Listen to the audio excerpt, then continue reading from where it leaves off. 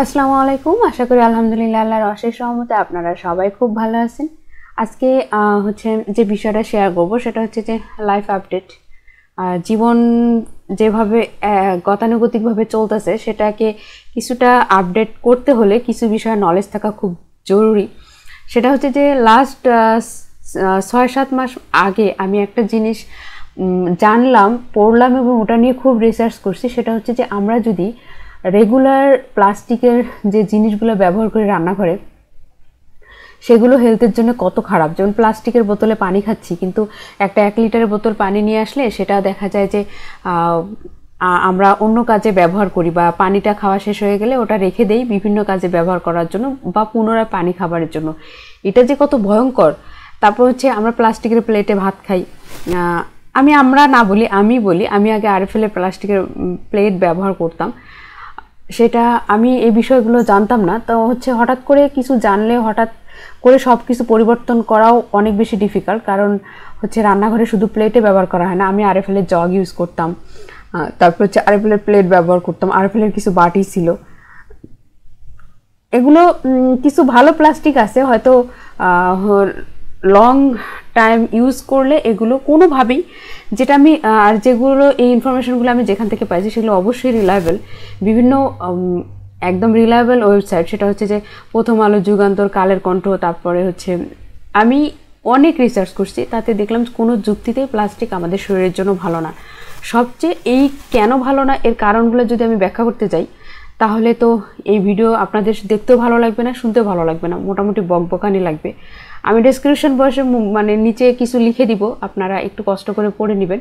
তবে ভয়ঙ্কর দুইটা রোগের কথা বলি, সেটা হচ্ছে যে একটা ক্যান্সারও হতে পারে আর গ্যাস্ট্রিক তো মাস্ট এই দুটো জিনিস খুবই কমন আর হচ্ছে অ্যালার্জি এই প্লাস্টিকের জিনিস, এই তিনটা জিনিস খুবই মারাত্মক জিনিস যে মানুষের লং টাইম ব্যবহার করলে এগুলো আমাদের হতে পারে। তো এইগুলো জানার পর, বিষয়টা আমি আগেও জানতাম না আমরা একটা মানে চক মানে সার্কেল থেকে বের হয়ে আসি। প্রতিদিন কিছু না কিছু জানি এবং সেটা নিজের জীবনে অ্যাপ্লাই করার চেষ্টা করি।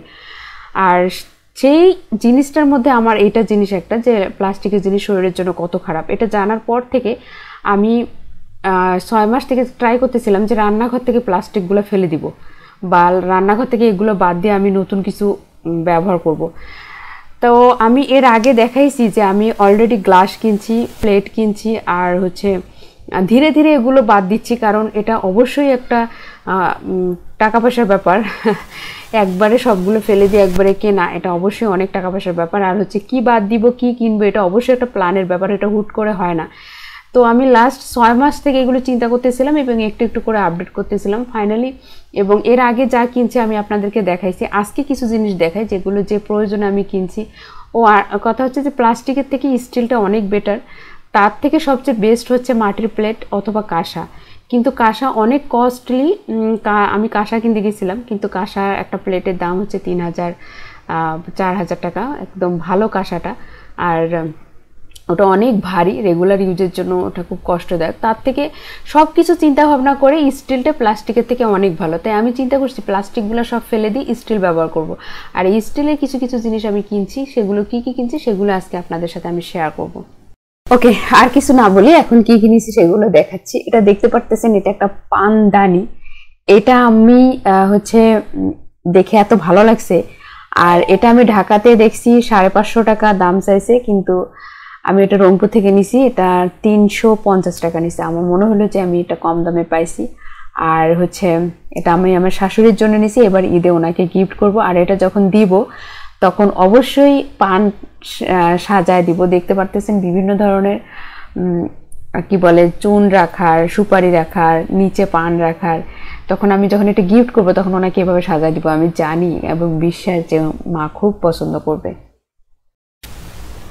আর এটা হচ্ছে, আমার কাছে আগে এরকম একটা ছিল। এরকম না, শুধু এক পাশে মানে এটা লাউ, আলু, এগুলো হচ্ছে ছেলার জন্য, ছালটাকে ফেলে দেওয়ার জন্য। তা একটা হচ্ছে সিঙ্গেল মানে শুধু সিঙ্গেল এক পাশটা থাকে, ওটা কিন্তু ভালো না।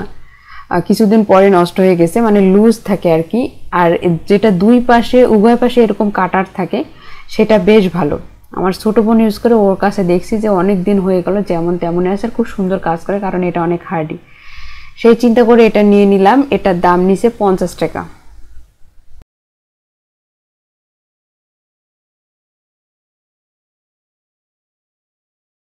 তারপর একটা বাটি দেখাই। এটা হচ্ছে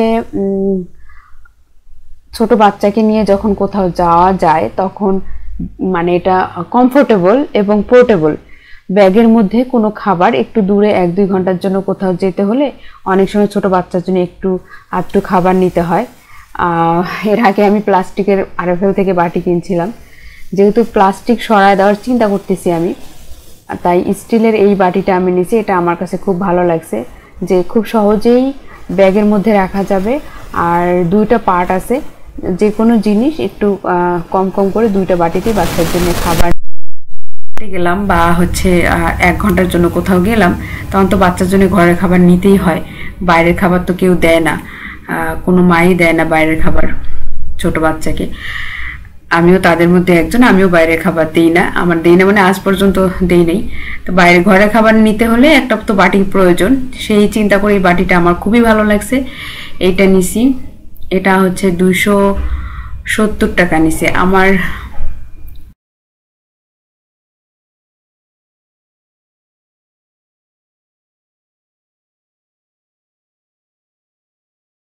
খুবই পছন্দ হয়েছে। আর এটা দেখাই, এটা কেনার কোনো চিন্তা ভাবনা ছিল না আমার কাছে। গিয়ে খুব ভালো লাগছে। আর একটা জিনিস হচ্ছে, রান্নাঘরের জিনিস যখন আপনার ব্যবহার করে খুব ভালো লাগবে, তখন কাজে কিন্তু একটা আনন্দ পাওয়া যায়। দেখবেন যে যখন কোনো কিছু আমরা নতুন কিছু কিনি, যেমন বিয়ের পরে আমাদের সাধারণত রান্নাঘরের জিনিসের প্রতি মেয়েরা বেশি উইক হয়। তা দেখা যায় নতুন পাতিল, নতুন প্লেট নতুন গ্লাস যেদিন আমরা কিনি, সেদিন আমাদের মনটা খুব প্রফুল্ল থাকে। ঠিক একইভাবে আমি চিন্তা করলাম, আমরা কিন্তু যখন দুধ কিনি, তখন এক কেজি কিনি। এক কেজিতে একদিনে খাওয়া হয় না। অর্ধেকটা খাওয়া হয়, বাকিটা ওই পলি সহ ফ্রিজে রাখি আমি। অথবা রাখলে হায়েস্ট একটা মামের বোতলে রাখি। তো এইটা হচ্ছে দুধ রাখার একটা, এক কেজি দুধ ধরবে। বাকি যে দুধটুকু মানে খাওয়ার পরে বাকিটুকু আমি এটা রেখে ফ্রিজে নর্মালেও রাখতে পারব জাল দিয়ে অথবা ডিপেও রাখতে পারব, সেই চিন্তা করে এটা নেয়া আর কি। অনেক কিছু নিছি প্রত্যেকটা জিনিসেই মোটামুটি অনেক জিনিসে নেওয়া হয়ে গেছে। এটা ছোট্ট একটা বাটি বাটি টাইপের আর কি ঢাকনা আছে। এটা নেওয়ার কারণ হচ্ছে, আমি অনেক সময় ভর্তা চাটনি করে তিন চার দিন খাই, কিছু কিছু চাটনি, কিছু কিছু ভর্তা করে খাওয়া যায় নর্মাল ফ্রিজে রেখে খাওয়া যায়। সেই চিন্তা করে এই ছোট্ট বাটিটা নেয়া। যে ঢাকনা সহ এটা নর্মাল ফ্রিজে আমি যদি করে রাখি নর্মাল ফ্রিজে রাখা যাবে।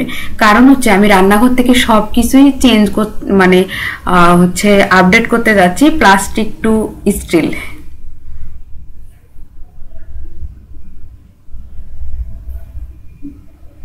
সেই চিন্তা করে চাটনি বা ভর্তা রাখার জন্য এই এই ছোট বাটিটা আমি নিছি যে নর্মাল ফ্রিজে চাটনি করে এটা ফ্রিজে রাখা যাবে।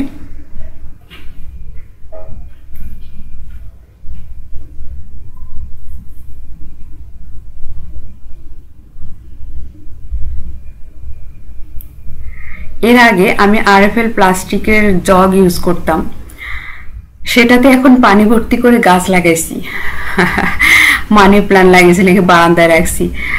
সেটা চেঞ্জ করে এই জগটা নিছি স্টিলের দেখতেও সুন্দর লাগতেছে। আর হেলদি মনে হলো প্লাস্টিকের থেকে এটা হেলদি এটা নিচে পাঁচশো পঞ্চাশ টাকা।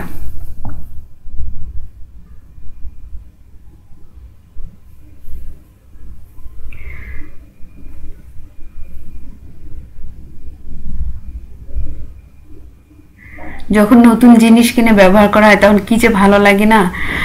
কিন্তু আপনারা যদি এই ভিডিওটা দেখে একটু ইন্সপায়ার হন যে আপনারা করবেন, তাহলে প্রথমে প্ল্যান করেন কি কি বাদ দিবেন, কি কি কিনবেন, সেটা ধীরে ধীরে আপডেট করতে হবে নিজেকে। তারপরে আমি এই হচ্ছে চার চারটা হ্যাঁ চারটা কড়াই সেট নিছি। এগুলো রান্না করার জন্য না, এগুলো তরকারি সার্ভ করার জন্য। আর এটা আমার খুবই পছন্দ হয়েছে কারণ ধানমন্ডিতে কড়াইগ্রস্ত রেস্টুরেন্টে সাধারণত খাবার সার্ভ করলে এরকম কড়াইতে রান্না করে দেয়। আমার খুবই ভালো লাগে। আমি এটা হচ্ছে তরকারি সার্ভ করার জন্য চারটা প্লেট নিছি। সরি প্লেট বলতেছি। চারটা বাটি নিচ্ছি আর কি, কড়াই কড়াই বাটি, এগুলো রান্না। তবে আমার মনে হলো যে এটা এত বেশি হার্ডি এবং নিচে তামার পাত দিয়ে একটু হচ্ছে যে দেয়া, সেটা যদি আমি তরকারিটা ইনস্ট্যান্ট গরম করতে চাই, তাহলে অল্প আছে আমি গ্যাসের চুলে গরমও করতে পারব, যাতে কালি না হয় সেদিকে লক্ষ্য রেখে। বাট তরকারি সার্ভ করার জন্য খুবই পছন্দ হয়েছে আমার, এটা নিচে ছয়শো টাকা। চারটা আর কি, চারটা ডিফারেন্ট সাইজে ছয়শো টাকা। এই হচ্ছে আমার মানে স্টিলের জিনিসের আপডেট আপনারা যদি চান যে লাইভ আপডেট আমার মতো স্টিল মানে সরি প্লাস্টিক ফেলে দিয়ে স্টিলের জিনিস ব্যবহার করবেন। ও আরেকটা বাটি নিছি হচ্ছে তরকারি বা ডাল রাখার জন্য। তাহলে আপনারা প্রথমে লিস্ট করে নেবেন, তারপরে ধীরে ধীরে প্রতি মাসে একটা দুটা করে জিনিস কিনে, হচ্ছে যে আপডেট করতে পারবেন। আর যাদের অঢেল টাকা, টাকার কোনো হিসাব নেই, তারা ইনস্ট্যান্ট যদি এই জিনিসটা আপনাদের পজিটিভ মনে হয়, ইতিবাচক মনে হয় যে হ্যাঁ জীবনের ক্ষেত্রে এটা খুবই ভালো, আমরা একটু হেলদি থাকার চেষ্টা করি। অ্যাটলিস্ট দুই দিন তো সুস্থ থাকব। তাহলে আপনারা একবারে সব প্লাস্টিক ফেলে দিয়ে স্টিল বা তামা বা মাটির জিনিসে আপডেট করতে পারেন। থ্যাংক ইউ সো মাচ ভিডিওটা দেখ সবাই সবসময় ভালো থাকবেন, আর সবসময় অনেক বেশি পজিটিভ থাকবেন। আজকের জন্য আমি এখানেই আল্লাহ হাফিজ বলি।